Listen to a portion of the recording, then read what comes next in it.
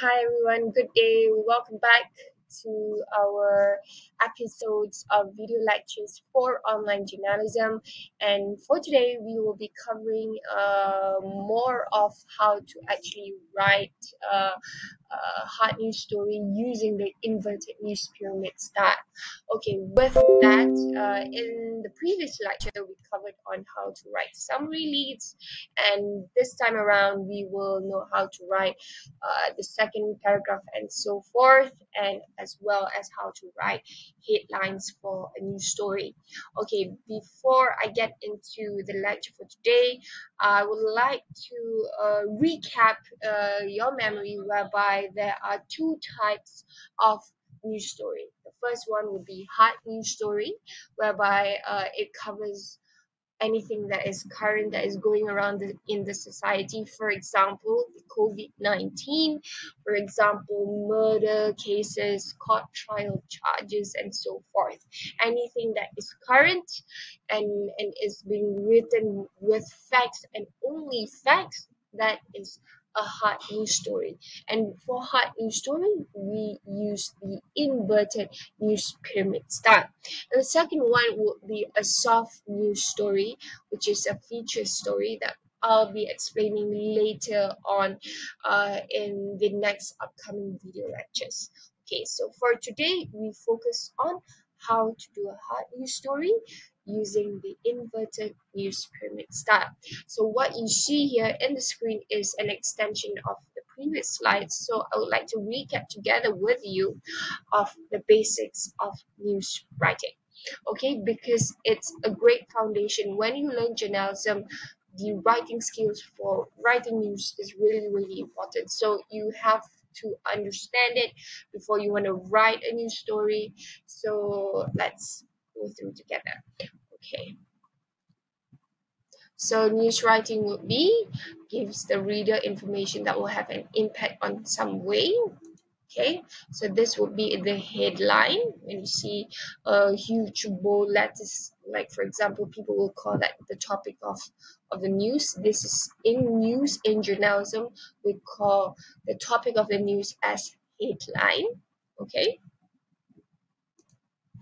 and uh, as as I mentioned before, if you write the story and the story has an importance uh towards a particular day it's a very important story you will get your ownership your your byline of the story. So the ownership uh, byline would be the person who writes the particular news story. Okay? And we go through the lead. The lead will be the first paragraph. Okay you can see here the highlight here. And we have body and details. Body would be the second paragraph onwards according to uh, the space that you have uh, for a newspaper or for a news portal for a matter of fact it depends on the space that you have so if uh if the the the editor your boss the boss of the journalist mentioned that you need to write a five paragraph of a news story then you write a five paragraph of a news story. So normally a hard news story ranges from uh four to eight paragraphs. Okay? And it, it looks just like this. So the body will be the details of the news story okay and as i mentioned before in hard news and especially when you write news writing uh, for current issues you use the inverted pyramid that suggests it must be told in order of the most interesting or most important to the least interesting or least important. So what you have here is that you include let me get my pen right here. You include the five W and 1 H in the first paragraph and continue with uh, the subsequent paragraph with the most important information to the least important information. Okay, so that is that, and we go to the next one. Okay, I have covered that. I would like to go through more on the background. Okay, okay. When we talk about the body construction and organization of a hard news story, it explains and clarify features found in the lead or add features that are not found in the lead. So, for example, if your lead, the first paragraph uh, states uh, uh, uh, a car a car crash happened last night in Subang Jaya uh, uh, in Subang Jaya. That, that's the lead. And you can explain the details in the second paragraph. So remember always to put an explanation in the second paragraph of what is happening in the lead. Okay? And we go to the next one, which is uh, keep paragraphs short, those limited to 60 words or less or no longer than 10 lines are preferred. So make sure each paragraph of the body would have a maximum of three sentences each and each paragraph should only contain one idea okay? Only one idea. And remember short paragraphs encourage readers to continue reading as i mentioned before because there's so many news in uh, in an online news portal or a particular hard copy newspaper. So that's why we practice in journalism the inverted news style to make sure that the readers actually read at least every news story as fast as they could okay? And use simple words don't let readers look for dictionaries. So always use layman words. And we go to the next one. Okay make sure information introduced or outlined in the lead is covered in the same order in the body of the story. Avoid introducing new information at the end of the story okay so what happened is that if you work in a newspaper or an online news portal you will be you you you report to your boss. Your boss is called the editor. So the editor will actually uh, edit your news from bottom to up. So the least important information would be uh, from from below and they will work their way to up because that's how uh, it is being done and that's why you must you must organize the most important information in the first paragraph okay? And then we continue the, to the next one okay? Add attributions of prominent person in a news story. You must interview a person. Uh, this is to verify and to justify that your story is true you could not uh, uh, so that's what journalists do. When you go and and for example to to to uh, uh, uh, a covid-19 scene where you are re- uh, you are reporting and you're you are based in hospital kuala lumpur you must find somebody to interview to verify your information or not you will be doing a news story based on your own assumption. So you must get a person to verify your information. So interviews are really really important in a hard news story and a soft news story as well. Okay so that's what attributions are for. You attribute a, a, a sentence according to the interviewee what is the what the interviewee has said according to your issue. Okay and we go to the next one which is the formula how to write an inverted news pyramid style. So the first one would be the lead. Okay we have the lead right here. And then the second paragraph important information not found in the lead and extend, extension or explanation of lead should be in the second paragraph. You explain in the second paragraph then you have direct quotes. So this is where where you have interviewed a person for your news story you include in the third paragraph. And after that, you summarize uh, in the fourth paragraph uh, of what he or she had said.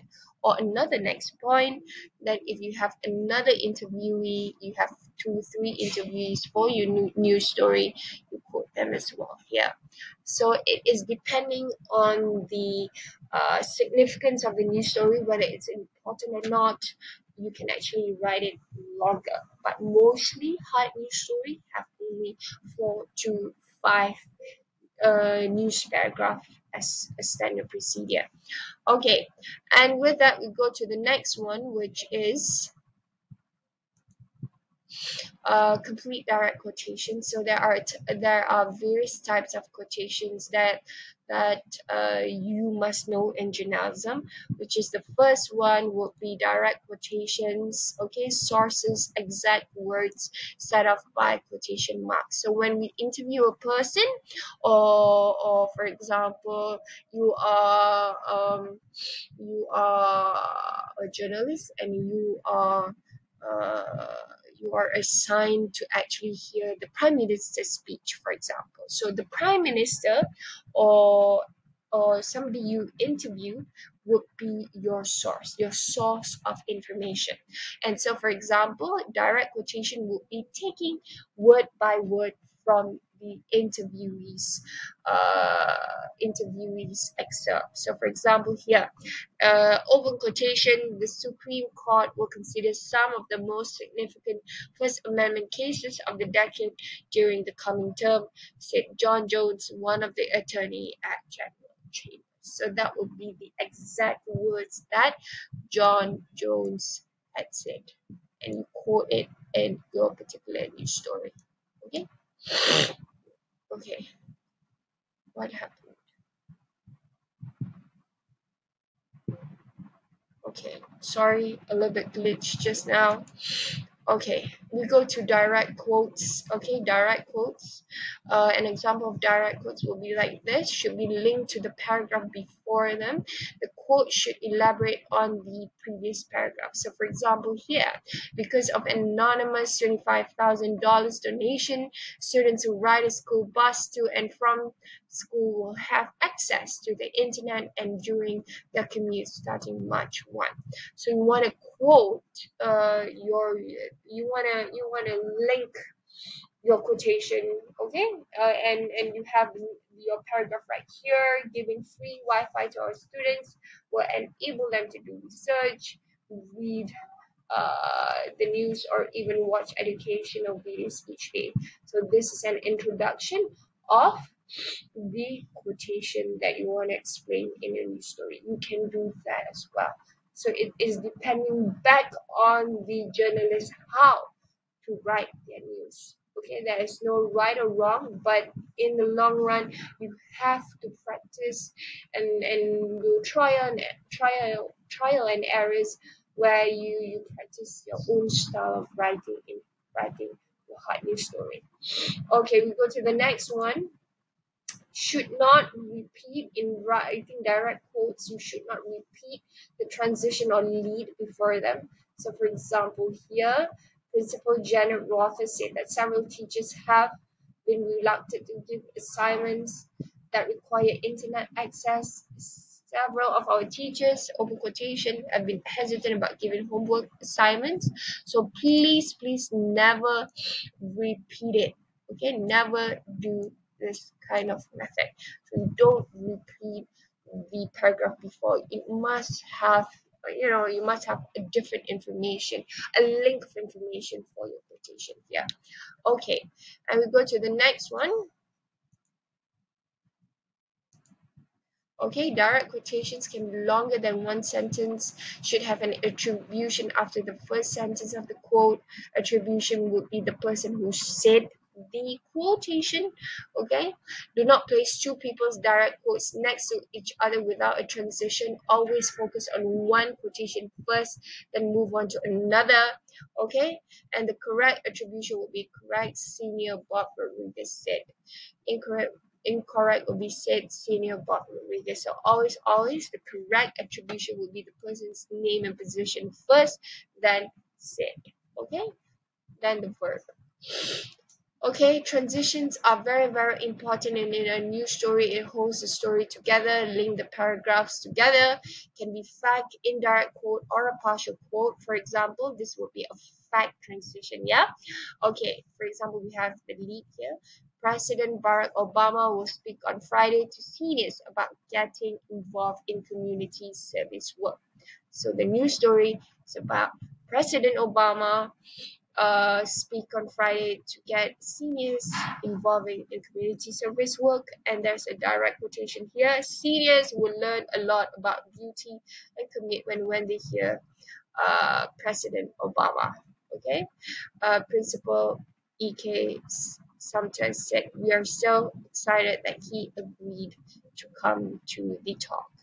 And that this will be a fact transition before becoming president Obama worked as a community organizer in Chicago. You want to link, okay, you want to link any information to your news story that it can help uh, the readers to understand the background of your news. You can do that. That is a fact transition right here. Okay, we move on to another one would be can be fact, indirect quote, or a partial quote. So let's see how indirect quote transition works in a news story. So for example, the same news story on Barack Obama. Okay, so we have here President Barack Obama will speak on Friday to seniors about getting involved in community in community service work. Okay, direct quotation seniors will learn a lot about duty and commitment when they hear President Obama.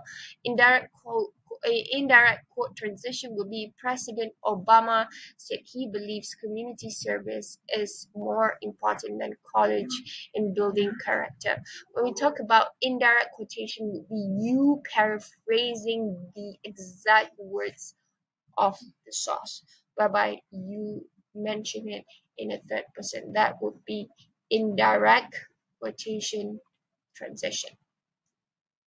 Okay and we move on to the next one partial quote transition.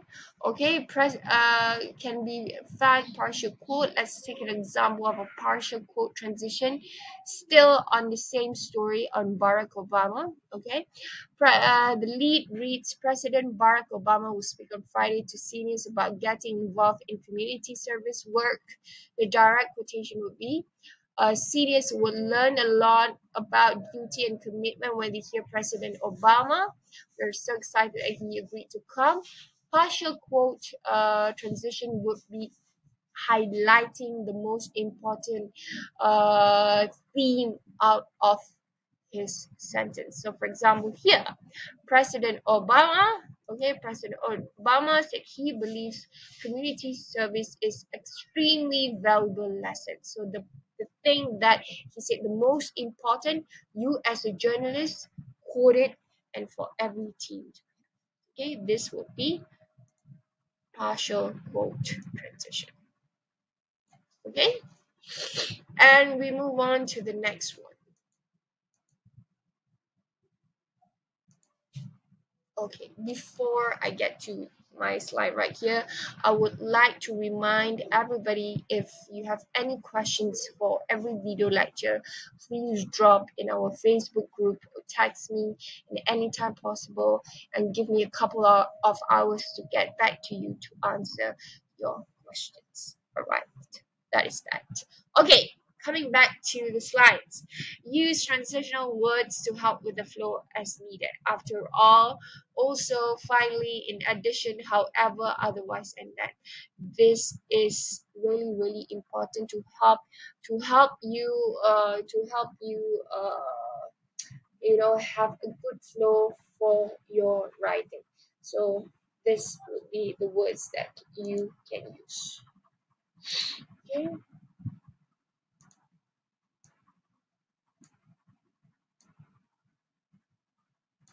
All right. For example, here we have in addition to speaking about community service, Obama plans to talk the students about the importance of voting. Note to be sure use the appropriate transitional words is important. Okay? And moving on to the next one. Okay? In body, try try to uh, uh keep your opinion out from the news story because when you write a hot news story, let me remind you that you have to uh, you have to write based on purely facts and using first and second person keep yourself out of the story. So for example don't use for example our school. You must use uh, the third person uh, uh, the third person for example uh, the school okay? And and avoid messy handwriting poor grammar and spelling too long paragraphs. Misspelling names in the story. Try to use all of the information. So you must must must uh, emphasize on the most important information that you need to highlight in your particular news story. Okay make sure uh, the next one to eliminate the word that whenever possible. Eliminate the be verb okay? Uh, uh, write she will resign instead of she will be resigning. Write in the future tense instead of future progressive tense okay avoid the contractions of he would and they'd he would can be mean both that he had and he would. So make sure to to, to use and to write and recheck your news story every time you write it. Double check the spelling, make sure the numbers, if you have numbers in your news story, must be the correct numbers, and read the story out loud to catch awkward sentence construction and write, rewrite, revise, rewrite. So in journalism, it's a normal thing to write, rewrite, and edit and revise. It's really really really normal. So don't worry when when a person tells you to rewrite. That means it's an opportunity for you to become a better writer and a better journalist. Okay someone's once say that is no great re- there, that is no great writing only great rewriting. So always always don't feel um you know down when people ask you to rewrite your stuff. It's a normal thing for writers and especially when you are in journalism it's a normal thing for you to rewrite. Okay. Okay and then we have grammar as well. I'm going to skip that. Okay and I will go more into the headline writing. So when, when we talk about headline writing, it'll be the topic of your news. Okay, so a headline is an abstract sentence. A headline will determine the angle of the news story. It is usually five to ten words only. Remember that it's a complete thought. It has a subject and a verb and of and often an object. So for example here be specific, direct, and to the point. Write headlines, not titles. So a headline must state a benefit to the target audience. What are you trying to say in your news story must reflect in your headline. Okay, so for example here, North uh, North U receives P81S million land property. North Northunians elect new student leaders to the point. NORSU produce more two more summer. So to the point. So must must state a benefit to the target audience. Why are they reading your news story? Okay, never be vague. Okay, functions of headline is to attract readers and to tell the story in summary as well. Limit your headline to a maximum of 10 words. Use instead use uh, use uh, open quotes and close quotes instead of the word and okay? And use the present tense of the verb. Use the shortest words possible. For example cop instead of policeman short word be cop nab will be arrest so you use short words. Don't use long words because you want to catch people's attention. Okay down if you want to use decrease you use down. If you want to use against you use versus that's fine. In headlines uh, you want to participate use the word participate. You use join and if you want to use present you can actually use practice and, and other short terms as well. Okay and use historical present tense and the verb is in the active verb. So uh and we go to the for it we go to the next slide. Okay. Do not use a person's surname unless he or she is prominent. Use common noun instead. So for example here okay this would be Norsu student wins auto painting tilt. Okay so we go to the next one.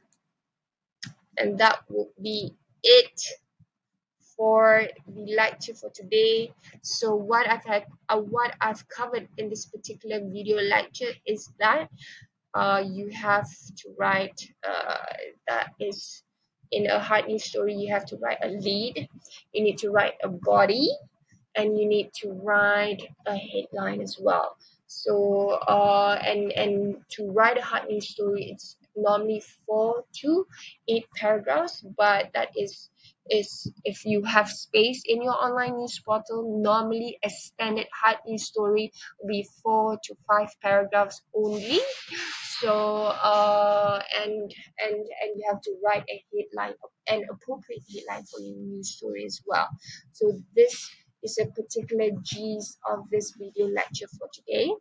And I'll be continue uh, continuing uh, the video lecture the next video lecture on how to actually uh, interview a source interview a person. Because when you or when you work or when you study journalism it's a normal thing to interview a person. You could not be scared you must be upfront clear and bold in getting news. That's the most important thing in journalism and i'll be focusing on that in my next video lecture. So uh, that is the summary of the video lecture for this episode. And don't worry from time to time i'll make sure you have uh, an amount of exercise for you to practice your news writing skills to practice news story how to write them so that you will uh, you will get used to to write a story to write hard news story and it will be really useful uh, to to help you in your uh, assignment number one which you which is you need to write your own news story, two news story. Okay, and with that, thank you very much for listening to the video lecture today, and have a good day. Thank you, people. Stay safe.